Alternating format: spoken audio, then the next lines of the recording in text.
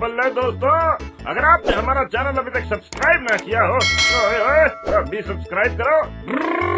हमारे नए वीडियो का नोटिफिकेशन पाने के लिए बेल आइकन दबाना मत भूलें।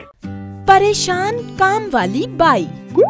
एक दिन अचानक काम वाली बाई रानी को पता नहीं क्या हो जाता है कि हमेशा बकबक करने वाली रानी अचानक चुप चुप काम करने लगती है और काम में गलतियाँ भी बहुत करती है। अरे का बार बार काम करते करते अल्प विराम लगा रही हो। जल्दी से काम का पूर्ण विराम लगाओ ना। हमार मतलब निपटाओ ही काम।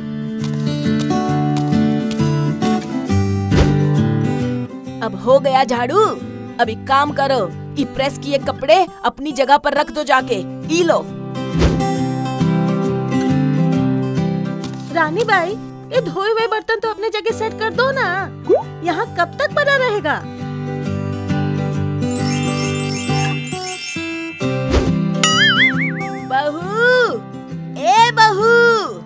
अरे ऊ जरा ठंडे पानी का बोतलवा तो खींच दे फ्रिज से। अभी लाते हैं सासू माँ। सासू माँ ये देखिए हमारी रानी का कमाल। प्रेस किए कपड़े वो फ्रिज में रख दी है। कहा बात कर रही है तू बहू?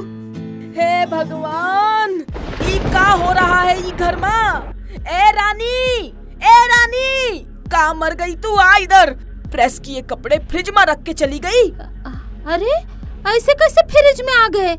इन कपड़ों में का हाथ पैर लगे हैं जो अपने आप चल के आ गए। बहू तू ले जा जा ई को कबाड़ में रख दे। सासू माँ ओ सासू माँ। ये देखा कबड़ में बर्तन रखे हैं। हे राम हे राम ए रानी ए रानी। ई का है का है ई? ई हमार बेडरूम का कबाड़ का किचन का रैक है जो बर्तन रख दिया ई माँ। अरे ये इधर कैसे आ गए? ई के तो पंख निकल आए हैं ना महारानी साहिबा जो उड़कर आ गए होंगे। ना हमका तू एक बात बता तेरा दिमाग ठिकाने पर है कि नहीं? एक भी चीज़ ठिकाने पर नहीं रख रही है तू। ऐसा काम करेगी। जा जा तू जा आज के दिन छुट्टी मार ले। जा मेरे को मेरे घर को कबाड़ खाना नहीं बनाना है रानी तू जा जा हम अपने आप कर लेंगे अपना काम। कोप से एक ही काम करता है। ए लो, आलू हम छील दिया है, इसको फ्राई करके सब्ज़ी बना देना। और ये रसगुल्ला हम फ्रिज से निकाल के रखा है, बहुत ठंडा है। नॉर्मल हो जाए तो अपने चौटर्जी साहब को दे देना।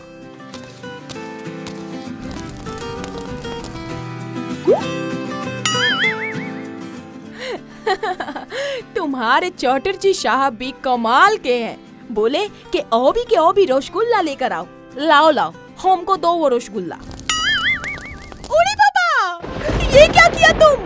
आलू का जगह पर रसगुल्ला को फ्राई कर दिया। रानी, तुम्हारा दिमाग खराब हो गया है क्या? आलू की जगह पे रसगुल्ला को सब्ज़ी बनाता है। जा जा, तू अभी के अभी बाज़ार से अपने शाप के वास्ते रसगुल्ला लेकर आ और सफ़ेद रसगुल्ला ही लाना। उसकी जगह पे सफ़ेद अंडे मत ले आना।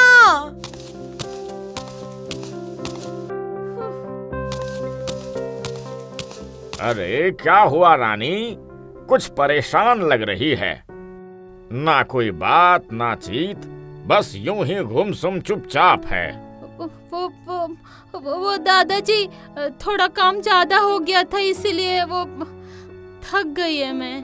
अरे रानी थोड़ा कम काम किया कर और ज़्यादा काम करना है तो दो काम के बीच में थोड़ा आराम कर लिया कर। बस, जब देखो, मशीन की तरह लगी रहती है। अरे, मशीन को भी फैक्ट्री में आराम दिया जाता है हाँ। हाँ? अब इसे क्या हो गया? अयो पता नहीं क्या हो गया रानी को। हम उसको चाय का बर्तन धोने को बोला तो वो चाय का केतली कप प्लेट छन्नी धोने का बदले चाय का बर्तन मतलब चाय पत्ती और शक्कर का डब्बा धो के चला गया जी। ओ अरे हमारे यहाँ का तो हाल ही ना पूछो। प्रेस के कपड़े फ्रिज में रख दिए और धोए बर्तन कबाड़ में। उड़े बाबा हमारा किचन में आलू का सब्ज़ी के बदले रसगुल्ला का सब्ज़ी बना दिया। अरे मेरे घर की तो ना बात ही मत पूछो। मैंने उसको थोड़ा ढोकला चखने को बोला तो वो तो पूरी तपेली का ही ढोकला खा गई। है? मैंने इतनी मेहनत से बनाया था मेरे को तो खाने को ही नहीं मिला। बहुत दिनों से वो ऐसा गड़बड़ कर रही है। पर समझ नहीं आता वो ऐसा तो नहीं कि उसको किधर और काम मिल गया हो तो वो ऐसे नाटक कर रही हो ताकि होम उसको निकाल दे और वो बड़ा काम ज्वाइन कर ले। हाँ हाँ हमको भी थोड़ा थोड़ा ऐसे ही लग रहा है। तो ऐऊ करिए कि आज चुपचाप ने उसके घर जाकर पता करते हैं।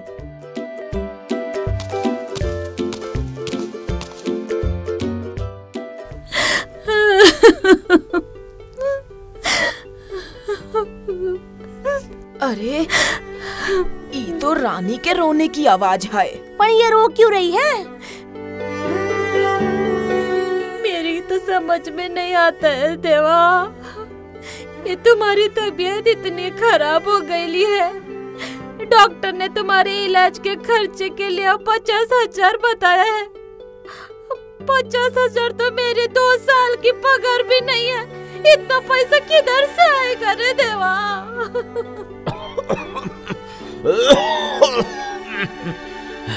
अरे मोहल्ले में किसी से मांग के देखना।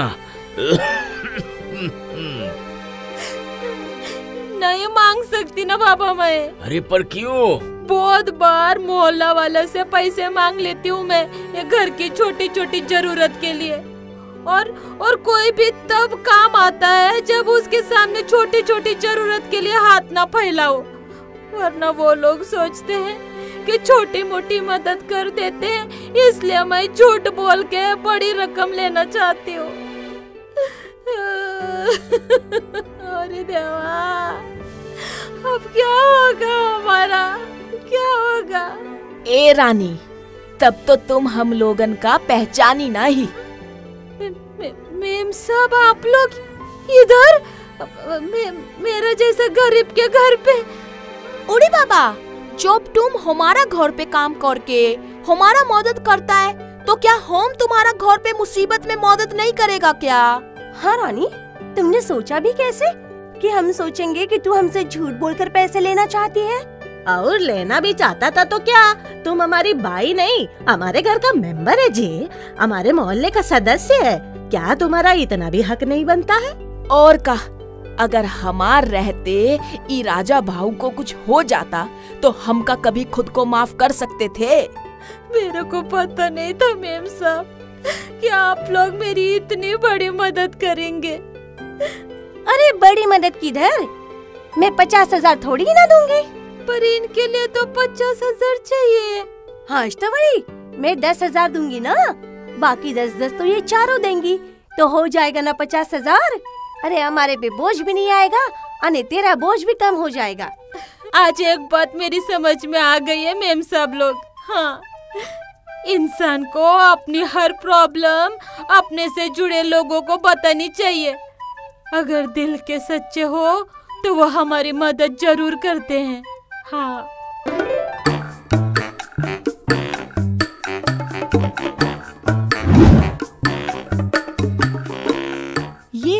अजब मोहल्ले का मेडिकल स्टोर, जिसे चलाते हैं यहाँ रहने वाले सोमनाथ चैटर्जी।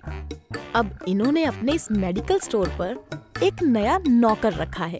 अपनी आदत के मुताबिक वो दवा लेने आए मरीज़ के प्रिस्क्रिप्शन का जेरोक्स कर रहे हैं। अरे बाबा, इशारा टेबलेट्स और सिरप एक्सपायरी है। इसको मेडिकल बंद करने के बाद जाते जाते फेंक देना। मुझे आम घर जाता है। जी साहब। भाई ये दवा देना जरा जल्दी। अरे यही टैबलेट तो चाहिए मुझे। कितने की है? बाप रे। ढाई सौ रुपए की। भाई मेरे पास तो सिर्फ़ दो सौ रुपए हैं। ले लो और ये दवा दे दो। अरे लेकिन देखो मना मत करना। मेरे पास सिर्फ़ ये दो सौ रुपए ही हैं। लो रख लो। अरे लेकिन कमाल है। बात है नहीं सुन रहा था। एक्सपायरी दवा ले गया। अरे ऐसा तो फेंकना था। उसके दो सौ रुपया दे गया। क्या करूँ? ये दो सौ रुपये हम रख लेते हैं। अगर ऐसे ही रोज दो चार सौ रुपए की एक्स्ट्रा कमाई हो जाए तो मज़ा आ जाए लाइफ का। एक काम करता हूँ। एक्सपायर्ड दवा की एक्सपायरी डेट पर प्राइस टैग चिपका देता हूँ। एक्सपायरी डेट दिखेगी ही नहीं। और मैं इसे बेच दिया करूँगा। एक्स्ट्रा काफ़ी पैसे मिल जाएँगे। साहब जी आ गए। अरे जल्दी से दवा छुपा दो नहीं तो गुस्सा होंगे। उड़ी बाबा आ गया तुम और क्या कर रहा था? सफ़ाई स- सफ़ाई सफ़ाई साहब जी। वेरी गुड वो कल रात को जो एक्सपायरी दवा दिया था वो कहाँ है? आपने फेंकने को कहा था ना साहब जी तो फेंक दी। अरे इसीलिए तो पूछा भूल तो नहीं गया। अरे चैटर्जी दादा ये दवा मिलेगी क्या? हाँ हाँ मिलेगा क्यों नहीं मिलेगा? मेडिकल स्टोर दवा के लिए ही तो खोला है। लो ये दवा लाओ तब तक हम इसका जीरोक्स मार लेता है। जी साहब जी। अरे ये तो बहुत महँगी दवा है। बारह सौ रुपए की। कल साहब जी ने जो दवा दी थी उसमें ये भी थी। बारह सौ रुपये एक ही बार में कमाने का ये अच्छा मौका है। चुपचाप दवा इसे थमा देता हूँ और एक सस्ती वाली नई भी दे देता हूँ। साहब जी के हिसाब के लिए। ये लो आपकी दवा सोलह सौ रुपए हुआ। सब करेक्ट है ना? अरे हाँ हाँ सब करेक्ट है। हम तो एक्सपायरी दवा रखते ही नहीं। सब फेंक देते हैं। क्यों साहब जी? हाँ हाँ। अभी कल रात को ही तो हम इसको काफ़ी एक्सपायरी दवा फेंकने को दिया था। अरे एक्सपायरी की बात नहीं है। वो तो मुझे आप पर भरोसा है। मेरा मतलब दवा बराबर दी है ना या डॉक्टर को दिखाना पड़ेगा? ना ना ज़रूरत नहीं। अब ये काफ़ी होशियार हो गया है। भाई ठीक से पढ़कर दवा दी ना। बिल्कुल साहब जी। अब सिर्फ़ के चार सौ रुपए डालता हूँ साहब जी के गले में और बारह सौ रुपए डालता हूँ अपनी जेब में। धीरे धीरे इस एक्स्ट्रा इनकम से उसकी गरीबी की हालत दिन ब दिन सुधरती जाती है। नए कपड़े और नए जूते आ जाते हैं। ये देख एक दिन चैटर्जी साहब भी उससे पूछ ही लेते हैं। क्या बंधु? आजकल हर दो तीन दिन में नया नया कपड़ा जूता लेते हो। बात क्या है? कुछ नहीं साहब जी हमारे यहाँ शादियों में कपड़े जूते देने का रिवाज है तो लेकिन तुम तो कई महीना से कोई शादी में नहीं गया घर। फिर ये कपड़ा जूता?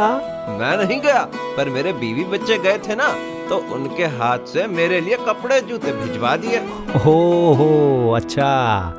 तभी आजकल तुम नया नया कपड़ा पहन कर आता है। जी साहब जी। और इस तरह चैटर्जी को बेवकूफ़ बनाकर उसी के मेडिकल से एक्सपायरी दवा का धंधा कर रहा है।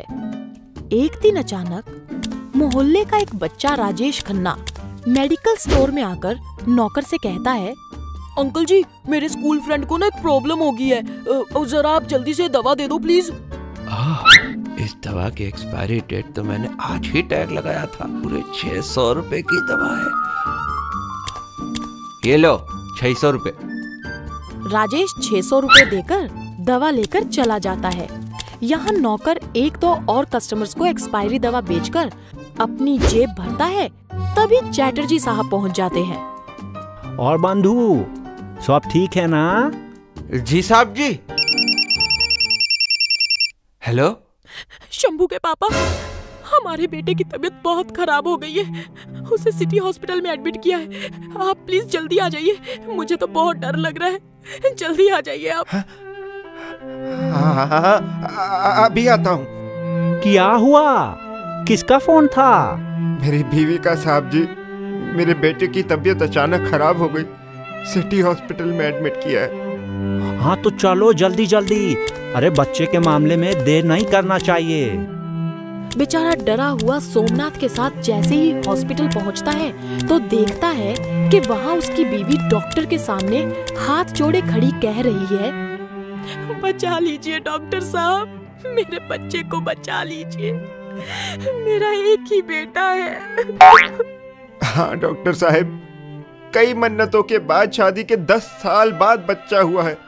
देखिए हम कोशिश कर रहे हैं।